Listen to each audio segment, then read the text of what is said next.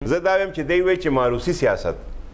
پاکستان کې که څوک لیډر نه غواړي خپل پارټي والا چرته هم لیډر نشي په زور امپوز کېدی نشي